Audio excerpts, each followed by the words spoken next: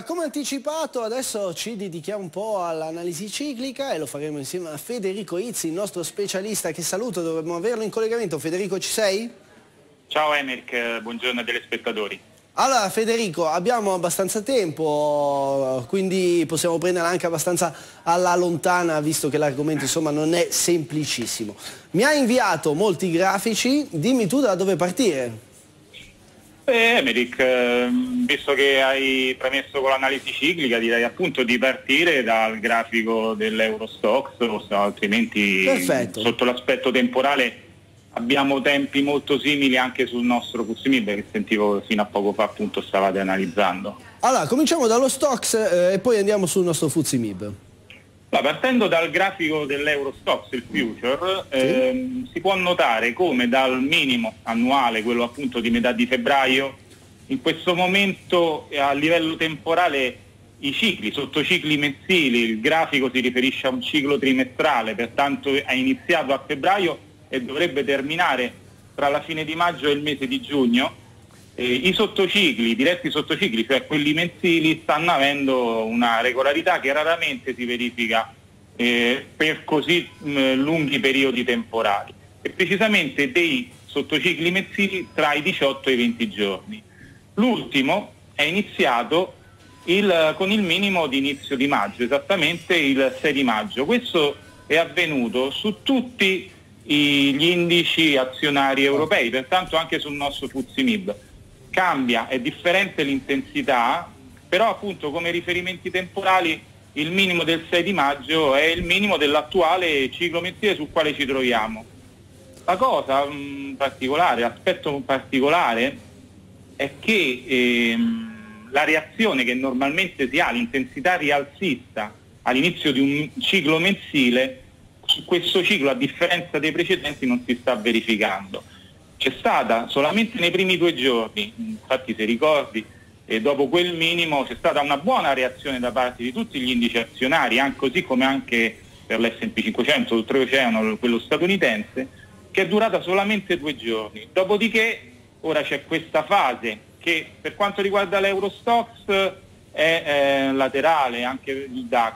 Quello che più ne sta risentendo della debolezza è proprio il nostro Fuzimib, che da quel minimo in questi ultimi giorni sta scivolando, sta scivolando segnando appunto dei minimi inferiori, non con una forte intensità ribassista, però appunto sta indicando una maggiore debolezza sul nostro indice. Allora aspetta, rimaniamo sull'Eurostox e poi facciamo un'analisi approfondita sul nostro indice. Sull'Eurostox, in base ai tuoi grafici, eh, mi pare di capire che ti aspetti un uh, giugno, un uh, mese di maggio, un restante mese di maggio in ribasso, giusto? Esatto. Esatto. Ok, i target vedo il 2770 sull'Eurostox giusto? E 2008,70 è il primo livello okay. future di supporto molto importante, siamo veramente Eccolo prossimi, eh, sì. siamo, questa mattina abbiamo ripestato nuovamente 2008,90, 2008,70 è un livello che già è stato testato appunto il 6 di maggio, nonché eh, venerdì scorso, giovedì venerdì scorso, da lì c'è stata una reazione da parte dei prezzi, un, un leggero pullback, un, un leggero rimbalzo e lì quello è il livello molto importante. Sono i minimi di questi ultimi giorni da monitorare con molta attenzione perché una violazione aprirebbe spazio per una discesa addirittura a 2770 il prossimo step che equivale ai minimi di inizio di aprile, esattamente quello del 7 di aprile. E a livello temporale questo vale per tutti gli indici azionari europei. Allora andiamo ora sul nostro FIB nel dettaglio. L'analisi ciclica, più o meno mi hai detto l'impostazione è la stessa, sì beh si può anche vedere abbastanza sì. dal eh, grafico che mi hai mandato, mandiamolo in onda, poi adesso lo regoliamo un attimino perché eh, non è semplicissimo insomma mandare, anche perché è bello pieno il tuo grafico quando ce lo invii. Allora dimmi tutto. Ecco, ehm, a livello temporale io indico sui grafici sempre riferimenti sia del ciclo più importante che è appunto il ciclo intermedio, il ciclo trimestrale, che ipotizzo avere una durata di circa 80 giorni, okay. che è iniziato appunto con i minimi di metà di febbraio. Okay, il 7 qua. di aprile su questo grafico si può notare appunto come c'è stata la metà del sottociclo e la regolarità anche dei cicli mensili che stanno avendo una durata di circa 20 giorni. E, ehm, con l'ultimo minimo, il quale ho evidenziato appunto di eh, 21,8 giorni, 22 giorni, è iniziato l'attuale ciclo mensile e come potrai notare, a differenza dei tre precedenti cicli mensili, questo è quello che non ha al momento dato nessuna reazione, nessun impulso rialzista. E questo sotto l'aspetto ciclico è un segnale di estrema debolezza e deve far preoccupare appunto per le prossime Cioè non ci sono stati nuovi massimi? ma più o meno è il massimo che c'è stato cos'è, eh, qualche giorno fa eh, va a prendere il massimo di cos'è, un mese fa, un paio di mesi fa, un mese e mezzo fa. Sì. L'ultimo massimo relativo sì. eh, è stato proprio quello di ieri mattina sul nostro Fuzimib che ha riportato il future in area okay. 17.650 che è andato a ehm, rivedere, anche se comunque con una certa distanza, ma comunque prossimo all'altro massimo relativo che era quello del 10 di maggio. Quando inizia un, mese, un ciclo mensile si, ci si attende almeno che i primi, la prima settimana, comunque i primi giorni diano un impulso rialzista che appunto si ha da parte dei prezzi. Questo sul nostro Fuzimib non è avvenuto e stiamo parlando di un ciclo mensile che oramai è iniziato dieci giorni fa, esattamente il 6 di maggio questo non è un bel segnale sotto l'aspetto ciclico, è un segnale di debolezza, cioè vuol dire che nonostante ci sia la, la, la, il favore da parte del tempo che normalmente spinge i prezzi comunque ad avere almeno un rimbalzo in un'ottica del 30-50%, su questo ciclo mensile no, non c'è stato. I precedenti cicli mensili hanno dato tutti un bel impulso rialzista, la volatilità è stata molto elevata nei, nei, certo. in questi ultimi mesi quello che non si sta verificando da 10-15 giorni a questa parte è, è a favore di un, um, ribasso ancora, un movimento ribassista che diciamo, è a metà del suo percorso. Questo naturalmente poi deve essere confermato dai prezzi che nei prossimi giorni e nelle prossime due settimane almeno devono continuare a dare questi minimi e massimi inferiori. Allora andiamo ora all'analisi dei volumi. Mi hai mandato un grafico molto interessante sui volumi eh, big contro retail immagino. Eh, sì. Big Investor, Parco Buoi, le, le chiamati tu giustamente, noi umili trader. Beh, no, siamo tutti un parco buono. Eh sì, comunque... assolutamente. Allora, questo è un FIB di lungo, giusto? Di quanto lungo però non c'è? Ah, 2015, dunque 2015, sì, esatto. un annetto più o meno. Sì, prende circa 14 mesi come riferimento. Allora, io vedo che qua, così a occhio, intravedo che a settembre del 2015 è praticamente partita questa eh, strada, allora, fino a settembre 2015 c'era più o meno l'allineamento tra quello che faceva i piccoli investitori e i grossi investitori. Invece da il settembre 2015 è partito questo allineamento, è iniziato lo scostamento. Sì, esatto. Questo purtroppo essendo un grafico che prende appunto gli ultimi 14 mesi di riferimento, c'è da notare che il movimento comunque laterale ribassista da parte dell'indicatore blu, quello che identifica i volumi più importanti che io indico come Big Investors, le mani forti, e ha, dato, ha, ha, indicato il suo top esattamente con i massimi che il nostro Fuzimib ha segnato nel luglio del 2015. Ecco. Da quel top, insieme ai prezzi, i volumi hanno iniziato un movimento eh, in discesa, un movimento a ribasso. Questo purtroppo prendendo come riferimento mh, dei, dei, livelli, dei valori che si allineano all'asse dello zero, pertanto la prima parte di questo grafico in questo momento risulta schiacciata. Però quello che tra Parco Buoi e Big Investors appunto come hai detto tu si è eh, mh, separato il movimento esattamente nell'agosto del 2015. Agosto del 2015. Cioè i piccoli hanno con, continuato a comprare e i grossi vendevano? Sul nostro Fuzimib, esatto, per quanto riguarda appunto i, i, i volumi del future, sì? quello che lascia anche, sta lasciando perplesso anche a me.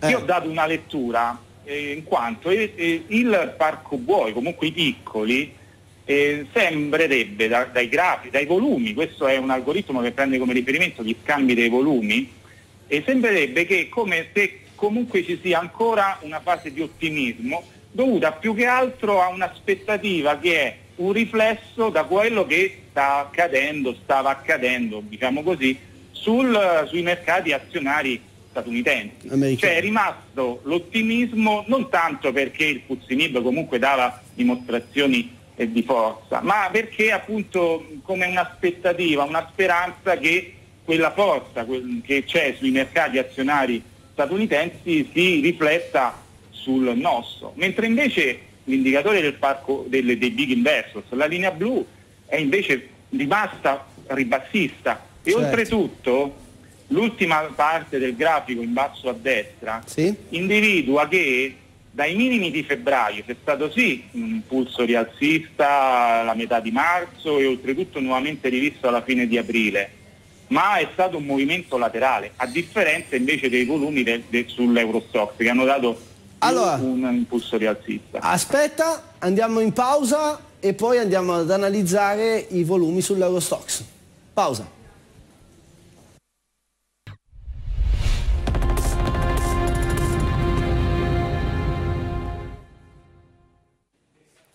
Allora, stanno arrivando veramente molte domande per te Federico sull'analisi ciclica, adesso finiamo l'analisi sui volumi dello Stocks, però intanto ti dico che è la Luna il vero driver ciclico, ci scrive Cristiano, poi ti stuzzicherò un po' anche su questo argomento. Nel frattempo, allora, cosa vediamo dal grafico che mi hai mandato sui volumi del Stocks di lungo? Più o meno la stessa cosa, o sbaglio? Sì, sì, il movimento è molto simile anche perché comunque stiamo parlando di Europa. A differenza però del Puzzinib, il eh, spunto rialzista da parte dei prezzi che c'è stato dai minimi di aprile, quelli che appunto tu stavi anche individuando nella tua analisi precedente che stavo ascoltando, e il movimento rialzista a differenza del nostro Puzzinib lì è stato accompagnato in quel periodo, in quel mese da parte dei, delle mani forti. L'unica cosa è che a livello temporale annuale eh, è andato a testare la media mobile che appunto sul grafico individuo con la linea tratteggiata blu. Da okay. lì c'è stato nuovamente un movimento a ribasso anche da parte dei volumi, così come c'è stato a dicembre dello scorso anno, del 2015. Da lì c'è stato un movimento ribassista. Sono segnali per quanto riguarda i volumi molto importanti da seguire, io consiglio di seguirli nei prossimi giorni, anche perché abbiamo visto i rialzi che ci sono stati anche ecco, quello ultimo che dicevamo prima a inizio di maggio, così come anche quello di aprile, la maggior parte del rialzo è avvenuto con bassi volumi. Questo sotto l'aspetto ciclico non è mai un, segnale, un bel segnale rialzista. Domanda Perizzi, possiamo ipotizzare che dal minimo del 7 maggio si sia sviluppato una metà trimestrale che andrà a chiudere verso fine maggio, inizio giugno?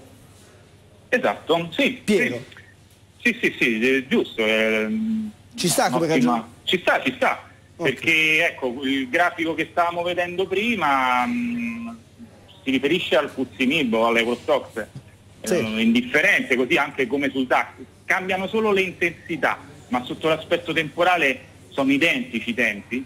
E il minimo che c'è stato, mh, più di quello di maggio, appunto è il minimo di eh, ciclo mensile, individuerei quello del 7 di aprile, quello di metà di ciclo eh, trimestrale e che entrambi se confermano ora l'attuale, la durata, così come i precedenti, l'ho fatto notare prima, stiamo avendo dei eh, un'armonia molto elevata che raramente si registra così elevata su un arco temporale molto ampio, stiamo analizzando un quattro mesi.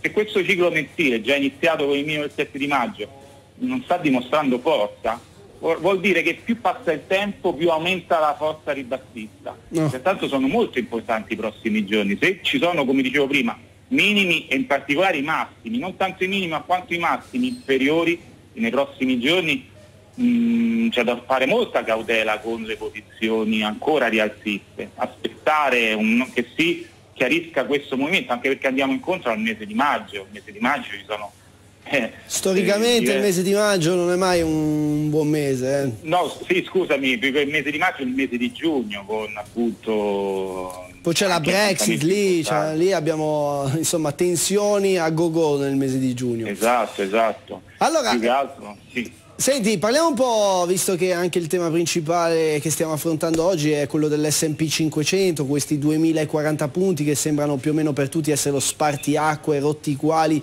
si eh, comincia a scendere.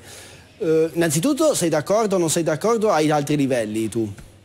No, sono d'accordissimo con uh, le analisi appunto che uh, avete fatto già prima in precedenza. È... Sull'S&P 500 c'è più che 2035 individuerei un livello di supporto che se violato ecco, potrebbe aprire uno spazio a ribasso 2025, pochi 10 punti sotto. Va bene, comunque l'area 2040, 2025, 2040, quell'area lì è cioè è, è, topica, mettiamola così.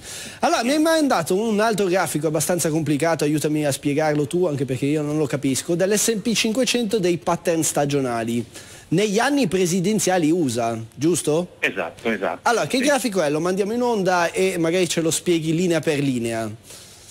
Allora, statisticamente l'ultimo anno del mandato presidenziale, cioè il quarto, sì. ha una stagionalità, che cioè prende come riferimento tutti gli anni presidenziali dal 1930 ad oggi sì. e anche con l'ultimo appunto eh, rinnovo del mandato presidenziale che indica che il primo semestre normalmente è laterale, poi per eh, svilupparsi il movimento rialzista nella seconda fase, nel secondo semestre. Questo okay. si può individuare su quel gra- sul grafico che appunto ti ho mandato con la linea celeste, la linea blu, okay, la più superiore. Perfetto. E cosa accade però? Che se noi invece da questi tutti gli anni dell'ultimo mandato presidenziale andiamo a individuare solamente eh, il mandato rinnovato, perciò l'ottavo anno, l'ultimo anno, l'ottavo anno presidenziale, così come quello attuale, eh, la statistica individua che a maggio-giugno normalmente si forma un minimo molto importante, un minimo importante dove c'è poi una reazione da parte dei prezzi nel, nel periodo inizio estate, per poi andare a fare nuovamente un minimo esattamente nel periodo della, de, de, delle votazioni tra ottobre e novembre. E Quindi? questo a livello statistico. Quindi cosa significa? Che ecco. se noi andiamo a prendere questi due valori e in particolare quello dell'ottavo anno con quello che sta accadendo nel 2016, esattamente la linea rossa sul grafico, possiamo notare come al momento, anche con intensità diverse, il 2016 sta seguendo veramente quasi a livello speculare quello che è la statistica dell'ottavo anno, okay. dove il massimo è stato registrato esattamente tra aprile e gli inizi di maggio. E quindi discesa. Insomma, tutto ci indica una discesa. Buonasera, vorrei chiedere al dottor Rizzi, secondo lui il minimo dell'agosto 2012 era stato il picco per l'inizio di un nuovo ciclo dei prossimi otto anni rialzista? Riccardo da Firenze? Allora, 2012 eh, sempre riferito perché poi ci sono a livello temporale eh, minimi differenti, però comunque rimaniamo al nostro eh. CIMIB. Il 2012 più che eh, ciclo a otto anni, io mi limiterei ai cicli annuali, perché quello che sta accadendo dal 2012 ad oggi sta anche modificando molto quello che è l'aspetto ciclico. E quel minimo eh, naturalmente sarà molto importante se effettivamente, così come sembra sotto l'aspetto ciclico, eh, un minimo che dovrebbe eventualmente essere almeno rivisto in grandi linee sì. nel prossimo anno se si svilupperà il ciclo annuale al ribasso. Al momento io andrei molto cauto perché quello che io consiglio sempre sì, velocissimo Fede che siamo... a livello ciclico è meglio seguire trimestralmente quello che accade in virtù di quelle che sono le decisioni delle banche centrali. Però fare molta attenzione più che al minimo del 2012 al minimo di febbraio. Io farei molta attenzione a quel minimo.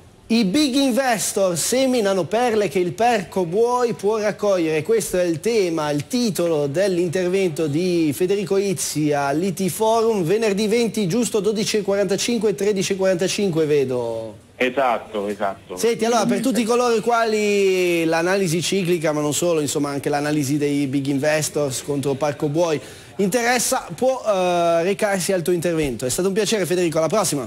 Piacere mio, a presto. Grazie Federico. Giuro